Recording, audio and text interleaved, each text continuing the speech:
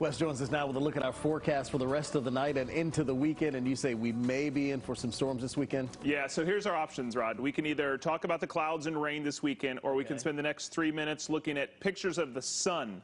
Let's do that. Because it's out. It is out. That's a big deal because we've had five days of clouds. So here's a live look up in northwestern central North Carolina. This is Person County. That's Hyco Lake great little lake and won't be too long where that water will be warm enough to uh, jump in. 81 degrees. I mean, it's not cool out up there. The temperatures are kind of reversed today. You come back farther to the south and things cool off because we had clouds for longer. Here's your example. Carolina blue skies in Chapel Hill where it's 79. Come a little farther south mix of sun and clouds, but there it is, the sun over at NC State Centennial Campus where it is 78 degrees. Now you continue farther south and there's a little bit of rain, still some extra cloud cover down there. Uh, we just talked to Jamise in the uh, first part of our newscast. She was right around Goldsboro. She got a quick shower. That's out of there as that search continues for a father and his son.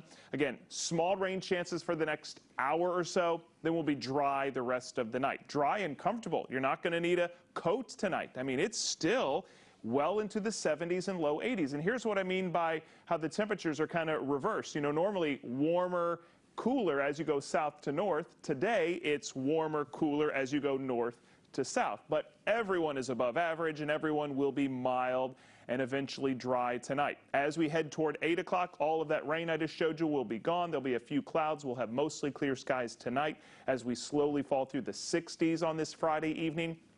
We get toward tomorrow morning and here come the clouds. So enjoy what little bit of sunshine we have because the weekend will be more mostly cloudy than anything else. And tomorrow morning, some of us will have some patchy dense fog you can see most of us have that unlimited visibility in your fog forecast, which shows up as 10, as in 10 miles. But you get south of the triangle, where there's going to be a little extra moisture in the ground, could see some fog tomorrow morning. So watch out for that. But we do have some rain and storm chances this weekend. Let's talk about when that's going to happen.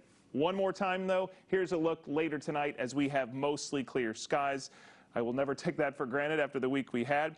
But tomorrow morning, we start to see fog and the clouds move back in. Here you can see we'll be back to mostly cloudy by lunchtime. Here's batch number one of rain coming through Saturday afternoon. Not going to be a washout tomorrow. Showers, thunderstorms, long shot of severe weather Saturday afternoon. Saturday night, a couple residual showers, nothing too impressive. Then we get into Sunday. The morning starts off cloudy and dry.